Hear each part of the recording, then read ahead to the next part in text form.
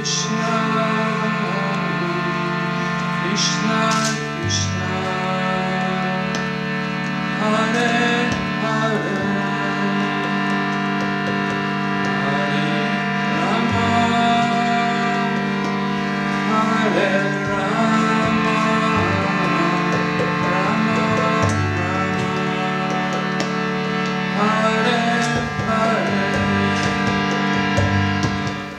Yoganın e, değişik çeşitleri var. Bu bhakti yoga. Yani adanma, sevgi, aşk olarak çevirebiliriz Sanskritçeden e, Türkçe'ye.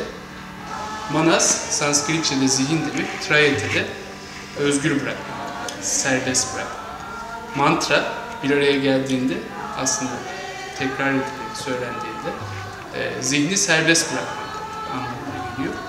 Sesin vibrasyonu gücüyle birlikte e, transandental bir vibrasyon olduğu için bu söylediğimiz mantraların hepsinin e, bağlantı kurmak, mantra yoga e, daha kolay oluyor.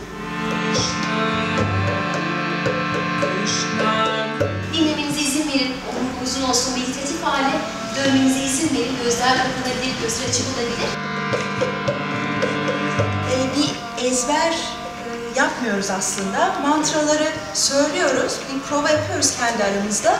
Ama daha sonra burada spontan gelişiyor her şey. Herkesin içinden aktığı gibi nasıl gelirse o anda birisi başka bir şey ekleyebiliyor, başka bir şey ama o uyumu görmek, ona şahit olmak da, o birliği görmek de çok güzel oluyor.